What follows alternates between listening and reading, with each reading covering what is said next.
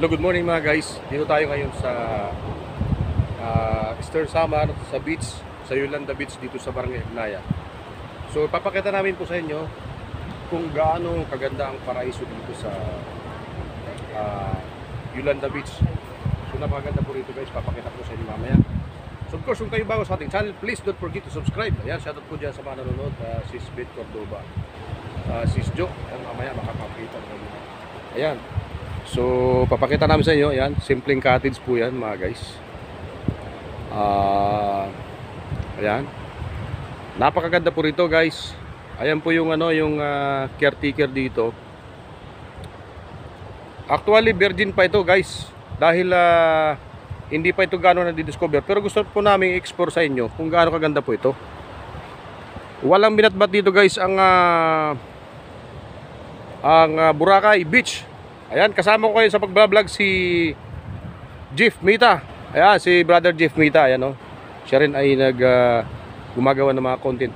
Ayun guys, mga batuhan, mga native ang kanilang ah, ano dito. Ang ah, lugar dito, napakaganda ng ambience. Ang sarap magbakasyon dito mga guys. So, tingnan niyo mabuti ano. Kung hindi lang masyadong mainit, pupunta tayo doon sa ano, sa baba. Kaso masyadong mainit mga guys. So ayan, papakita ko na po sa inyo. Ah, dito lang tayo sa may puno. ayan. So yung lugar na po na yan ay ah, may bayad po doon, ayun oh, may paliguan doon, may hagdanan. So hindi tayo makalapit masyado. So ayan. Ayan po, nandito po tayo sa beach, harap mismo ng beach. Ang ganda po nito mga guys. Ayan oh. So, bababa tayo ng konti mga guys dahil ah, hindi natin makikita masyado yung view talaga na napakaganda. So, baba tayo ng konti. Saglit na po ano. So, ayan, nasa baba na tayo ng konti mga guys. So, ayan, napakaganda ng beach mga guys. Napakalinis. Zoom natin ng konti. Zoom, zoom. Ayan. So, kikita nyo no. White sand talaga. Ayan, paraiso ito mga guys. Ayan, iniimbita natin yung mga foreigners dyan.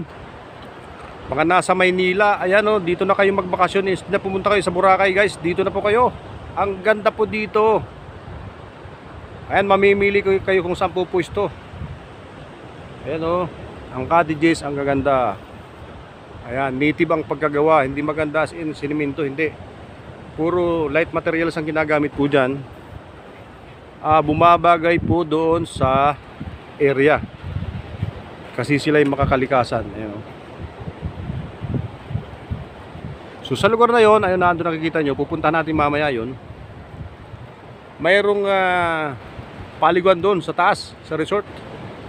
Sa taas ba yan yung paliguan? So pupunta po natin eh, si Manong yung caretaker. Mura lang po guys ang entrance fee dito 10 piso lang. Gasino lang 10 piso mga guys Ayan, ah, si paring Jeff ang ating ah, partner ngayon sa pagblog. Dito tayo ngayon sa Punong Talisay. So ang ganda po dito guys, nakakapag-relax ng ano, kaisipan. ang ganda po. Grabe. Ako po yung taga Samar pero for the first time kong makapunta rito mga guys. Super ganda. Kaya iniimbitan ko pa kayo dyan mga guys sa aking mga kaibigan sa abroad. At saka sa Kamaynilaan. Instead na kayo po ay magpunta ng Boracay dito na po kayo magpunta. Napakalinis po. Ang ganda. Wow. No? Ang ganda po. Ang sarap dito magtambay. Siguradong uh, mawawala ang inyong mga problema. Ayan o. Ayan po guys yung ano yung ah binabagsakan ng malaking alon. Ayan.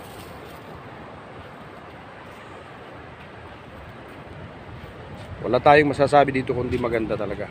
So, kayo mga nasa abroad dyan, mga kaibigan natin, huwag na kayong magpa Boracay, di- dumito na kayo. Ang ganda po dito, grabe. Although yung mga cottages natin ay hindi mga simento or ano, mga light materials, pero talagang napakaganda. Pinapakita na ang ah, ang may-ari dito ay makakalikasan. Kita mo yung mga bato na yan. Ang gaganda. Ang lalaki. Nakapandong. Ayan, oh. So, yan muna mga guys. Ang ating ah, video for today. Ayan. Tignan natin kung ilang minuto na. So, ayan guys. Kita nyo yung ah, kagandahan ng kalikasan natin. Sobra. Ngayon lang ako dito nakapunta guys sa lugar na to. Oy, shoutout po dyan sa mga magsusyuta ah. Dito na kayo magpunta. Instead na doon kayo sa malalayo, dito na. Yan, gusto ko lang po guys i-promote ang ah, Hagnaya Beach. Paraiso po ito, napakaganda. Grabe. Yan, wala pang masyadong tao kasi ito po consider as Virgin Island. Yan oh. May nagbibita dito ng ice buko. Magkano yan, boss? Magkano? Tagpira? 20. Ano sa? Oo. Ito, patilo na kami. Ayan, si kuya nagtitinda ng ano? Ng ice bukil.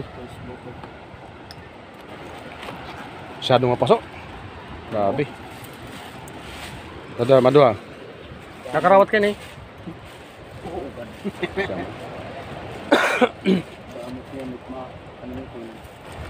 Dapat may din mga cottages din eh. Mga magupay nga. May mga kwarto, no? Barat mag-uuyab. Makaka... Makakakuhan. Makapag-abuloy. Kadali. Nakakadali, makakashoot. Ayan guys, oh, kain tayo ng ice buto. Ay, ice buto, ice buko. Ayan guys, oh. Yan si partner Jeff Mita. Salamat. Thank you.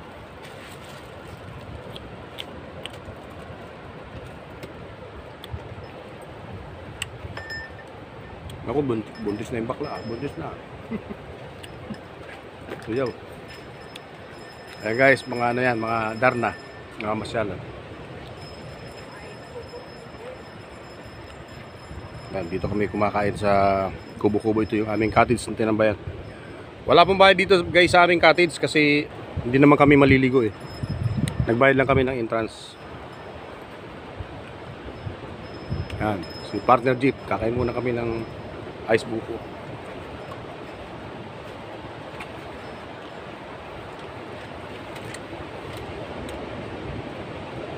Dito lang, makakatulog ng ice cream.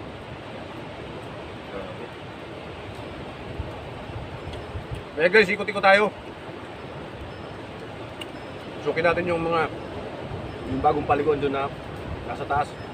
Nasa ng malaking bato.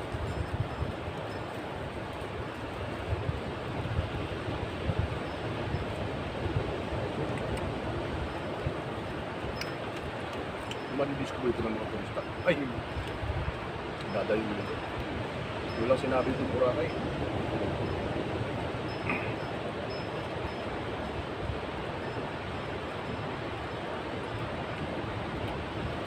Ngayon lang kasi nag-explore eh. Hindi kami mag-explore.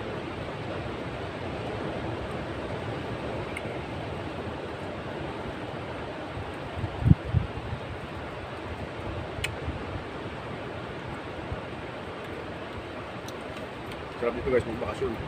Ito lang. Kaya dito na kayo magbakasyon. Pati mga utang makakalimutan nyo pagdating nyo dito, mga guys. Uh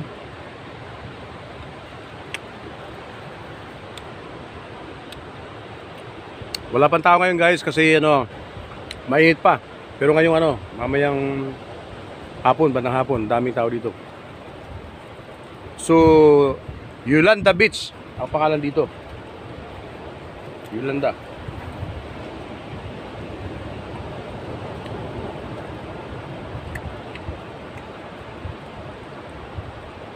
Order pa nga yung mga bago.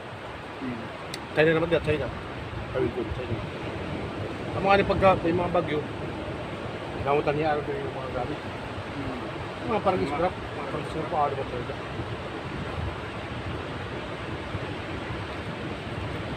Medyo, may nabungaw ah. May naarog yung mga drugs.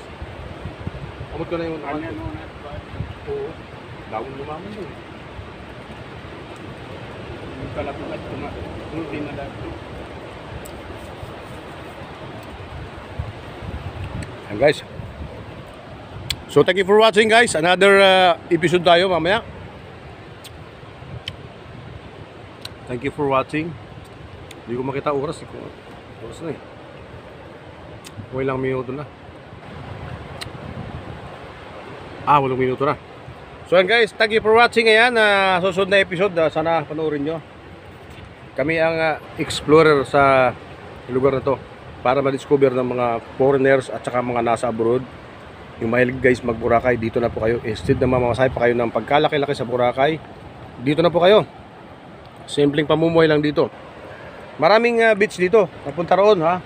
Mayroong mga swimming pool na pwedeng pagbanlawan at may mga private room na pwede kayong mag-overnight pag mag stay kayo.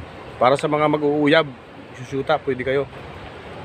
Pero dito, pang family po ito dito na pasyalan. Sarap dito guys, lalo pag hapon. Umaga talaga. Sarap.